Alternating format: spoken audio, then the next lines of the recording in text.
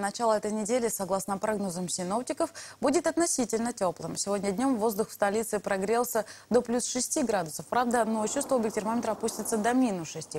По центральным районам до четверга будет идти дождь в перемешку со снегом. Температура в светлое время суток будет держаться на отметке плюс 8. В темное время термометр покажет от плюс 3 до минус 2. Теплее всего будет в южных районах края. Там до середины недели днем воздух прогреется до плюс 11. Ночью ожидается около 0. На севере будет идти снег, днем температура около плюс 5, ночью до минус 7. В Красноярске во вторник и в среду дневная температура воздуха будет также до плюс 5, ночью около 0, временами дождь.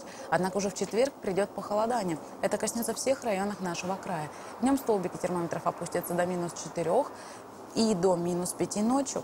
По южным и центральным районам ожидаются осадки в виде снега. Ночью температура до минус 3 градусов, днем плюс 1. В выходные в прямом центре немного будут потеплее. Светлое время суток плюс 1, ночью минус 1 и без осадков. Гололедица в то время, как будут эти осадки, по крайней мере, мокрый снег гололедица все равно будет, если температура будет отрицательная. Я думаю, в дальнейшем э, приблизительно температура останется такая же, как в конце недели. Ну, ночные там такие от минус двух, минус семи. Ну и днем где-то слабо положительно.